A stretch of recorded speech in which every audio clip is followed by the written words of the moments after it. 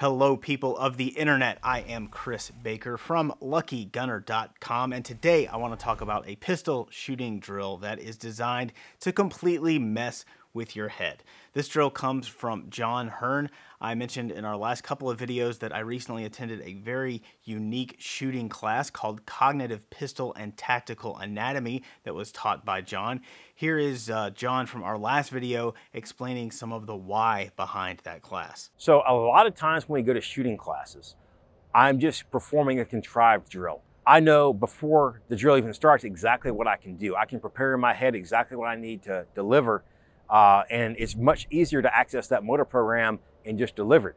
In the real world, I don't know what motor program I'm going to need to deliver until the last possible moment. So, unlike most shooting classes, John's focuses on pairing technical handgun skill with decision making and problem solving and stuff like that.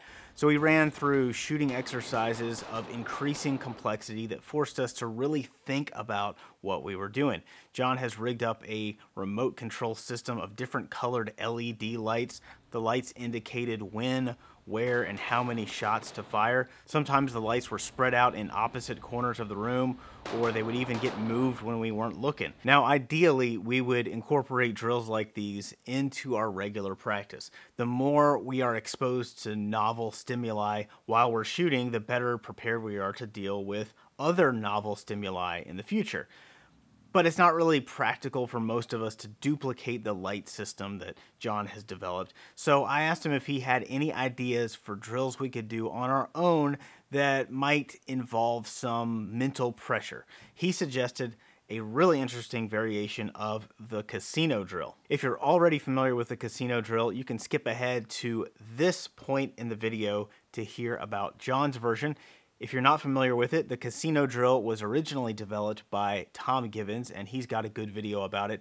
It's one of the few commonly taught range drills that does have that combined focus on technical skills and thinking under pressure. We also did a video on the casino drill a few years back, but uh, I'll run through the course of fire for you again. In order to shoot a proper casino drill, you need a specific target that's sold by Action Targets. It's called the Discretionary Command Training Target version 2. There are actually three variants of that target. There's a 2A, a 2B, and a 2C. Tom Givens usually uses 2A in his classes, but you can use the other two as well. If you don't want to buy a special target just for this drill, I've got a printable alternative that I'll tell you about in a minute. It will not technically be a casino drill, but it's the same basic idea. The official target has six shapes randomly numbered 1 through 6. The order is different depending on which variant of the target you have. The distance for this drill is 5 yards. Start with your pistol in the holster loaded with 7 rounds only. You will also need two spare magazines loaded with seven rounds each. At the signal, draw and fire one round on shape number one, two rounds on number two, three on three, and so on until you have six rounds on six. Reload as needed. It's called the casino drill because you have 21 rounds and the par time is 21 seconds. Add a one second penalty for every missed shot or for any rounds fired out of sequence or at the wrong target.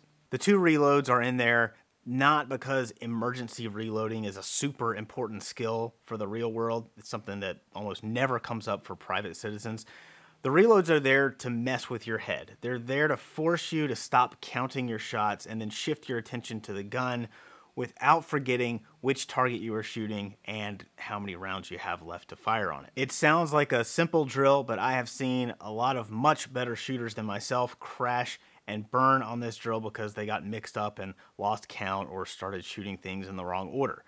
Before we get to John's version of the drill, let's take a look at a demo of the original casino drill. We picked a perfect day to go to the range, 92 degrees and super humid, so within a few minutes everything was drenched in sweat. That adds a little extra challenge, especially for a smaller gun like the SIG P365 XL that I was using. Recoil control and gun manipulations are always more difficult with sweaty, slippery hands, so I maintained a careful pace throughout the drill and ended up with a clean run of 19.11 just inside the par time by a couple of seconds. But I'm already familiar with this drill and I know the pattern fairly well by now.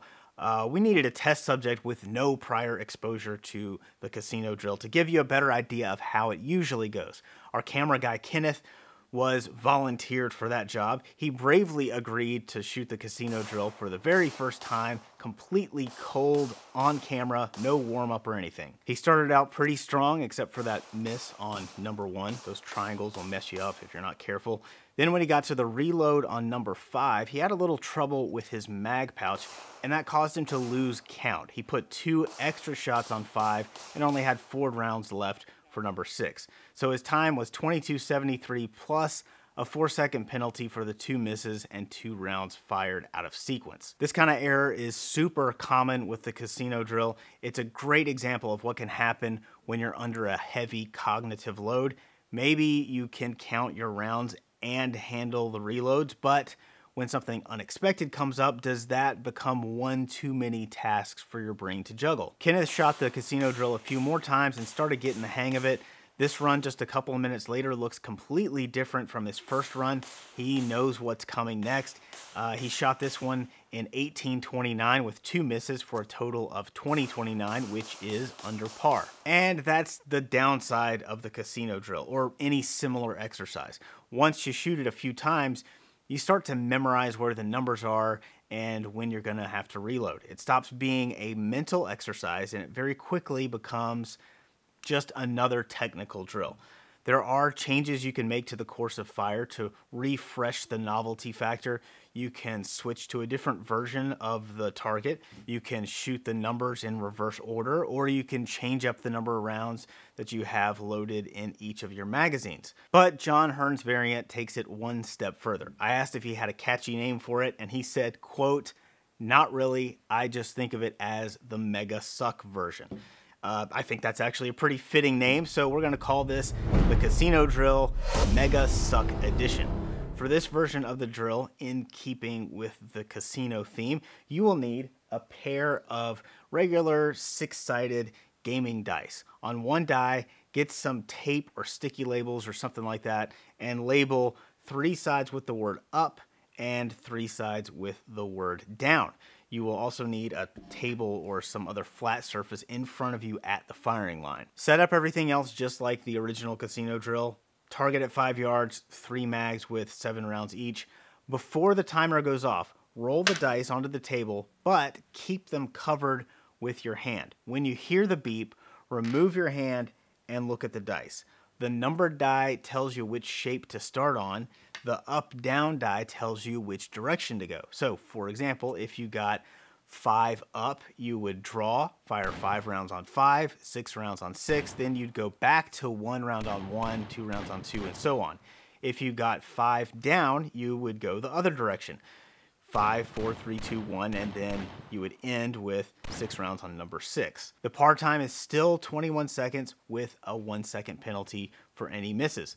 On my first attempt at the Mega Suck edition, I rolled four up. It took me three full seconds to look at the dice, draw, get the first round on target, so that's already pretty slow.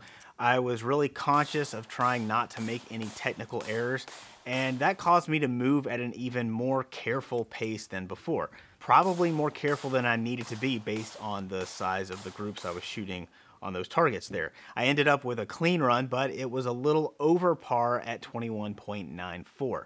Kenneth rolled three up on his first try. He started with a few rough shots. Again, one of those tricky triangles. The rest of the run went fairly smoothly until he got to the very end. He forgot which number he needed to end on and had a big pause there before putting those last couple of rounds on the number two circle. This really tanked his score, which was 25.35, including the three misses. We both improved on our second attempt. I had another clean run with a 21.15, and Kenneth had a 21.40 with one round out.